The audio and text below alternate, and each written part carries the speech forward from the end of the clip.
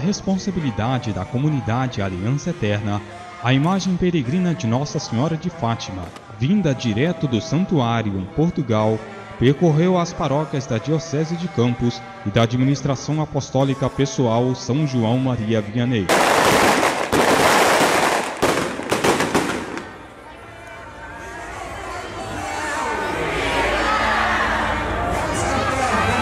Este ano com um significado especial para os fiéis, já que 2007 é o ano das comemorações dos 90 anos das aparições de Nossa Senhora.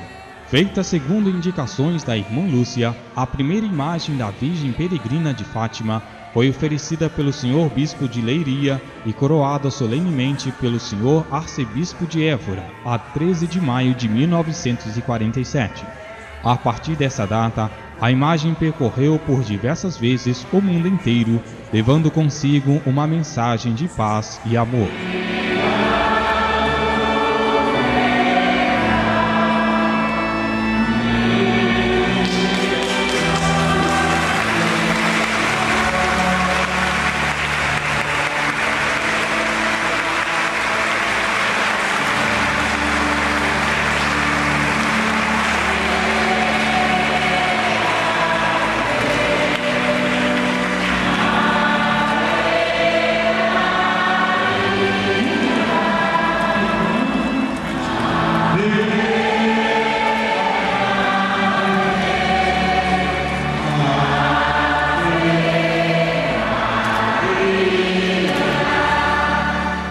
Em maio de 1945, quando a guerra terrível enviada por Deus para castigar o mundo acabava, os vigários das paróquias católicas de Berlim tiveram a ideia de conduzir uma imagem da Virgem de região em região para consolidar a paz recentemente conseguida.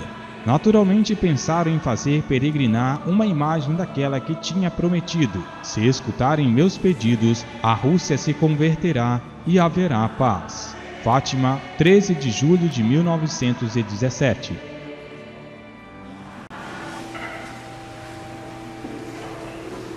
Abbiamo sconfitto di trono un grazie e consequando.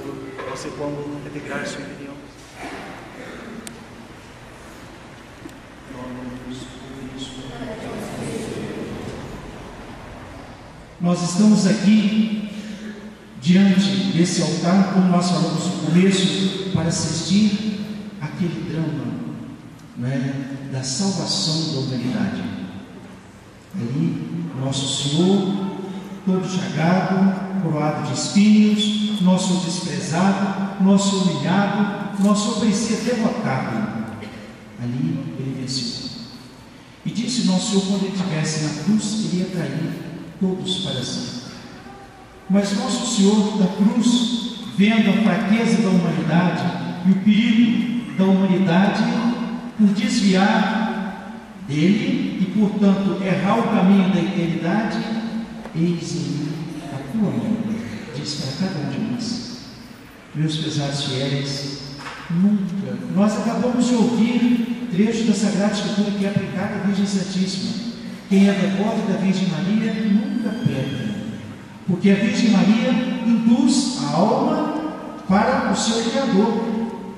A minha alma exulta de alegria em Deus, meu Salvador. Ela não vai ficar para si, acolher as honras para si. Nossa Senhora merece. E nós a honramos, e nós amamos, nós a veneramos. Nós não podemos esquecer do momento. Mas a Virgem Maria assim: tudo isso, meus filhos, vai nos levar até o nosso Criador, Redentor, Salvador, ao Pai das consolações, ao Deus das misericórdias, é a Virgem Maria.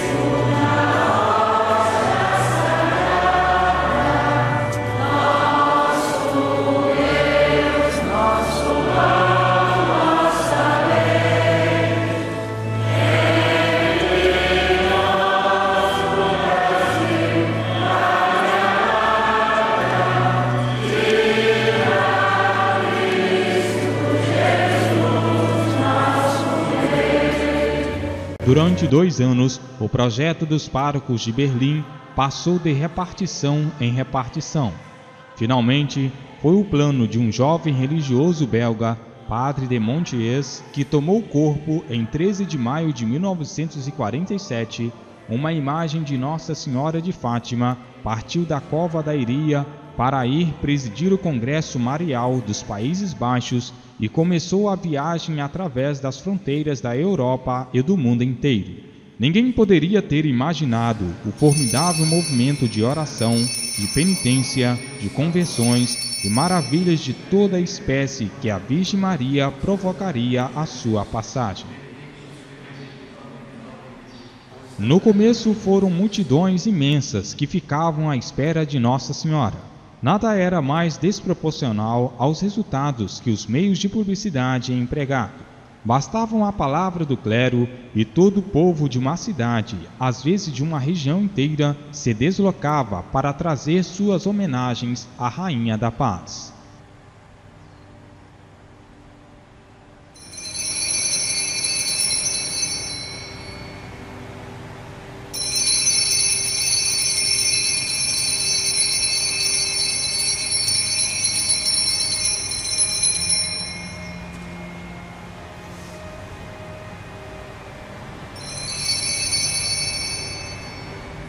Desde sua partida da Copa da Iria, os fiéis se apresentavam em cercá-la e as primeiras conversões começavam a acontecer. Na Espanha, contava-se em certas cidades até 100 ou 200 mil fiéis para aclamar a Virgem. Os bispos vinham recebê-la, os chefes políticos das aldeias saudavam-na, o exército apresentava armas. Onde ela passava, Cinemas e teatros se fechavam e o dia era feriado para que todo mundo pudesse aclamar a Senhora.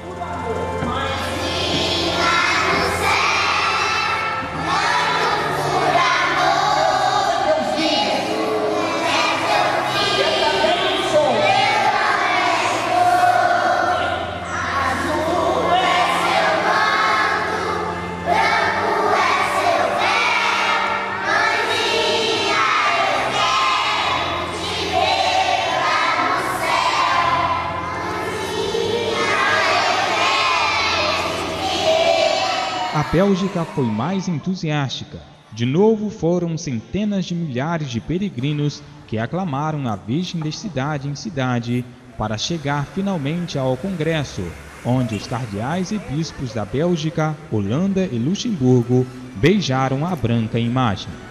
Daí a senhora passou para a Holanda e depois para Luxemburgo. Nesse pequeno país, que não contava mais de 250 mil habitantes, houve 100 mil comunhões em honra da Virgem Peregrina. Paris e novamente a Bélgica foram as novas etapas antes do retorno a Portugal. Qual é o caminho que ela escolheu para conduzir os homens até Deus? O caminho da devoção imaculada ao coração de Maria. Ela disse Deus quer estabelecer no mundo a devoção do Imaculado Coração. Quem tem devoção ao Imaculado Coração de Maria, ele se entrega a Deus, ele faz seus cinco primeiros sábados, uma comunhão, uma reza do texto, e ele medita os mistérios da paixão de Nosso Senhor. Essa é a devoção dos primeiros sábados. E Nossa Senhora prometeu que quem o fizesse, ela prometeria a salvação eterna. Ave Maria, cheia de graça, o Senhor é. Bendita sois vós entre as mulheres, e bendito é o fruto do vosso ventre, Jesus. Santa Maria, Mãe de Deus, rogai por nós, pecadores, agora e na hora da nossa morte. Amém. Pedistes outro sim, que nos consagrásemos ao vosso coração imaculado. Nós queremos ser totalmente vossos. Ó Mãe querida, nós vos damos tudo que é nosso corpo, alma, sentidos, todas as nossas atividades. Tudo seja vosso e por vós, de vosso amado Filho Jesus. Como todos a propriedade. Vossa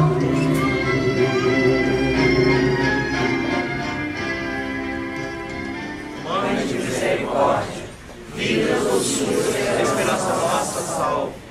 A vós bradamos, decretados, filhos de Eva. A vós suspiramos, gemendo e chorando neste vale de lágrimas.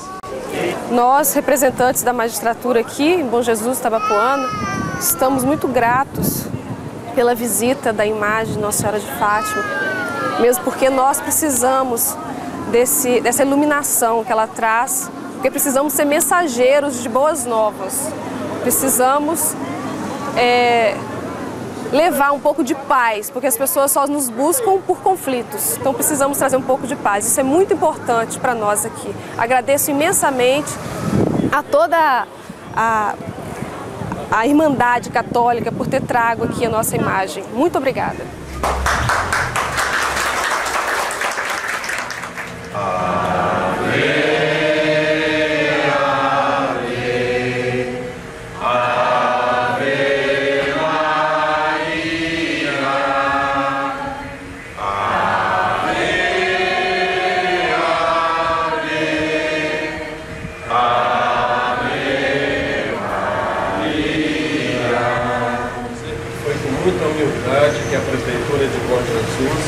Solicitou a visita da imagem peregrina de Nossa Senhora de Fátima. Mas também é com muito orgulho que nós aqui recebemos esta imagem. Eu peço que Nossa Senhora derrame as suas bênçãos sobre cada um dos funcionários da Prefeitura. E para isso eu quero que todos nós rezemos uma salve rainha. Mãe de misericórdia. Mãe dos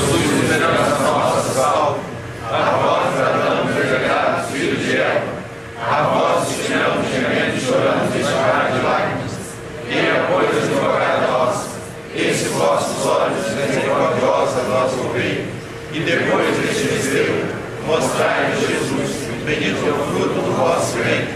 Ó clemente, ó piedosa, ó doce Virgem.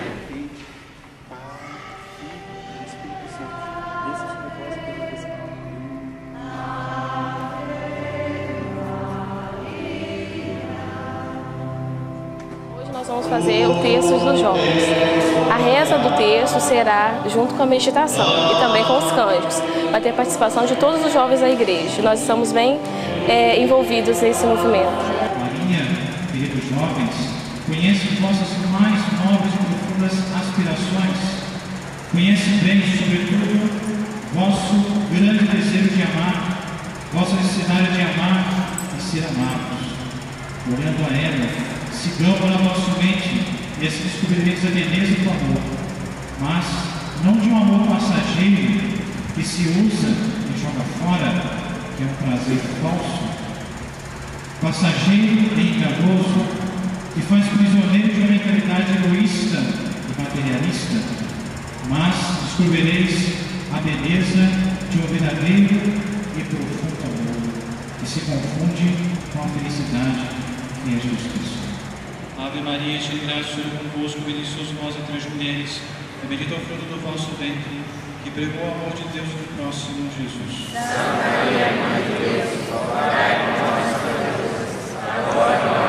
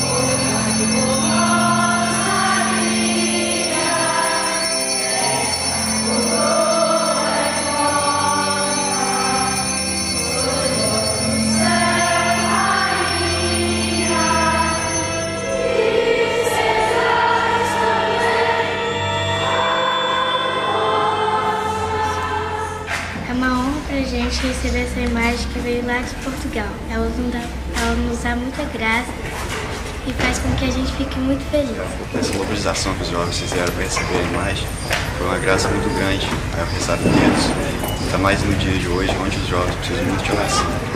Espero que essa visita da imagem peregrina de Nossa Senhora de Fátima traga muitas bênçãos para nossas famílias que andam tão necessitadas de ajuda espiritual, de ajuda e até mesmo material que a Nossa Senhora de Fátima peregrina abençoe e santifique cada vez mais todas as famílias de nossa paróquia.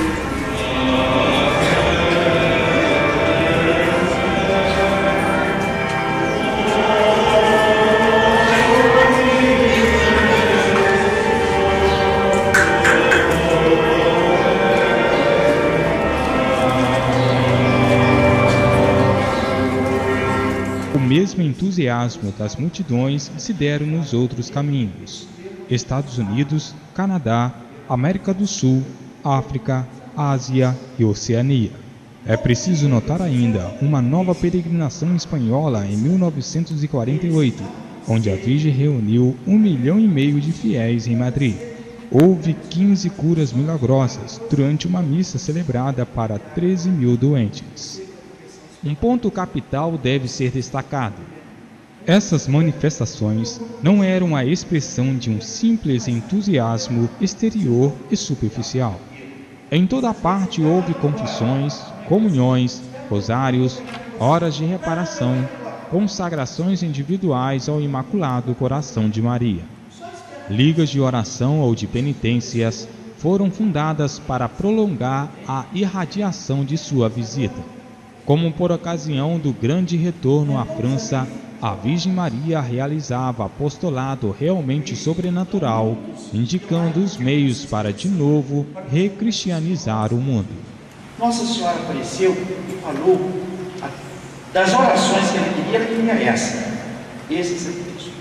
Fazer cinco primeiros sábados. Então, quem, ela falou, quem fizesse cinco sábados seguidos, os primeiros do mês, ela promete a salvação eterna. Quem faz não perde a salvação.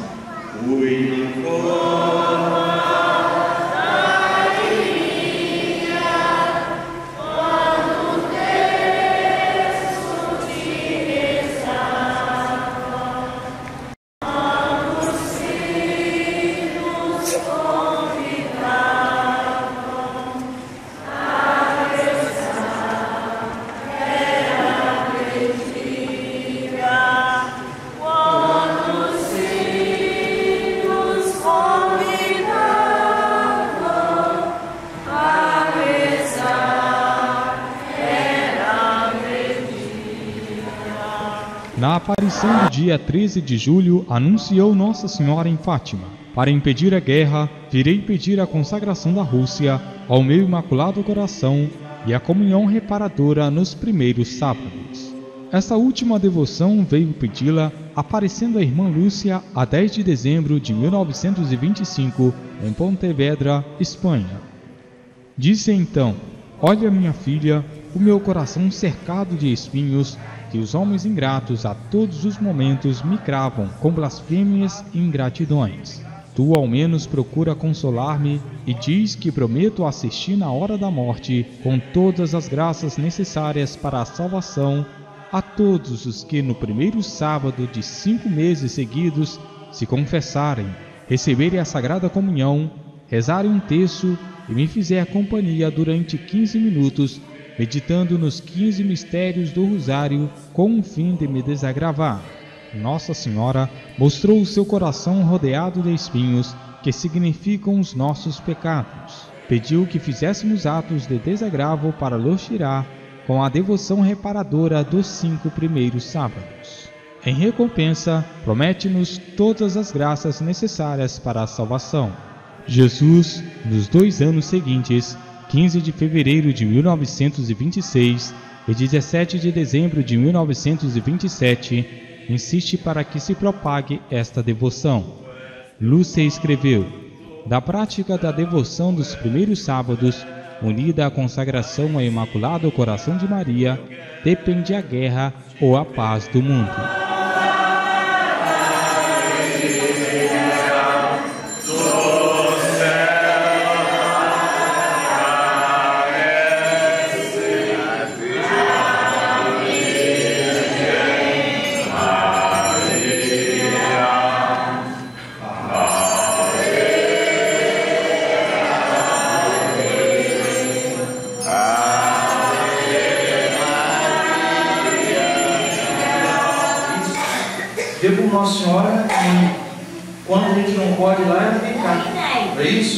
Hoje, nós não podemos mais sair para ir nas praças, ir nos, nas procissões. Nós não ficamos tristes com isso. Nós sabemos que Nossa Senhora vem cá. E ela não deixa de nos abençoar. Nós fomos distribuir os panfletos das Santas Missões nos colégios, é, fizemos explicação dos panfletos, convidamos os colégios para virem rezar o texto. São cinco os primeiros sábados, por segundo revelou Jesus, serem cinco as espécies de ofensas e blasfêmias proferidas contra o Imaculado Coração de Maria. Primeira, as blasfêmias contra a Imaculada Conceição. Segunda, contra a sua virgindade. Terceira, contra a maternidade divina, recusando ao mesmo tempo recebê-la como mãe dos homens. Quarta, os que procuram infundir nos corações das crianças a indiferença, o desprezo e até o ódio contra esta Imaculada Mãe. E quinta, os que a ultrajem diretamente nas suas sagradas imagens. Foram feitas nove imagens que andam pelo mundo. Essa imagem é a nona imagem ela chegou no Brasil no dia 15 de agosto para dar início a essa peregrinação. A nossa comunidade é uma associação de leigos consagrados.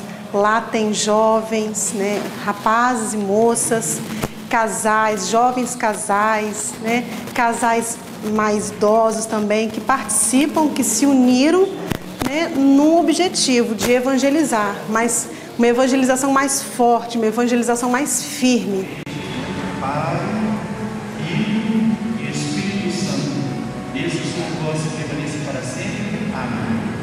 Carisma da comunidade é tornar Jesus conhecido, amado, adorado e consolado no coração dos homens, assim como faziam os apóstolos e os santos anjos.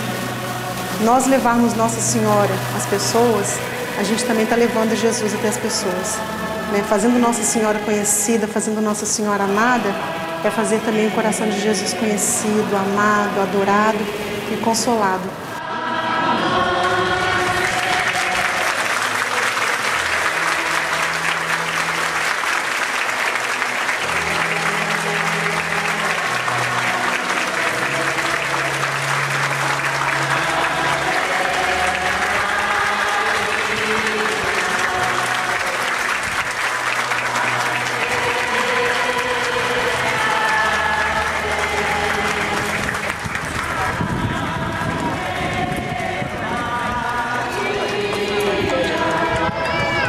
As condições para ganhar o privilégio dos primeiros sábados são quatro. Primeira, confissão. Para cada primeiro sábado é precisa uma confissão com intenção reparadora. Pode fazer-se em qualquer dia, antes ou depois do primeiro sábado, contanto que se receba a comunhão em estado de graça.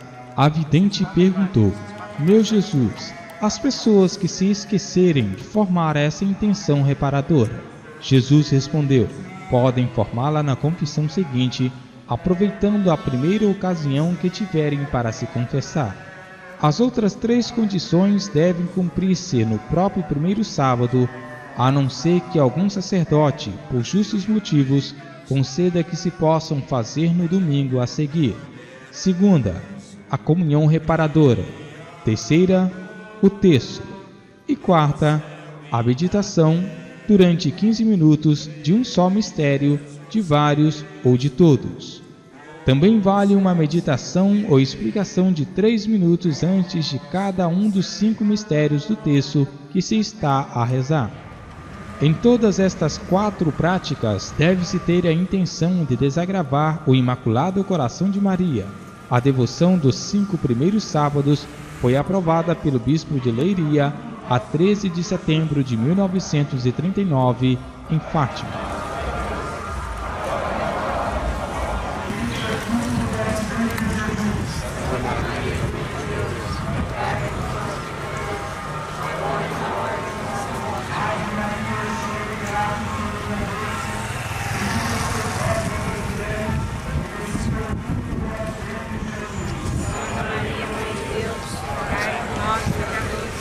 agora é na hora da nossa morte. Amém. Eu falo que nós fazemos parte da guarda real. Muito mais importante do que qualquer rei e rainha é Nossa Senhora que leva Jesus. Então nós nos sentimos muito honrados, muito, muito honrados por estarmos ao lado dela.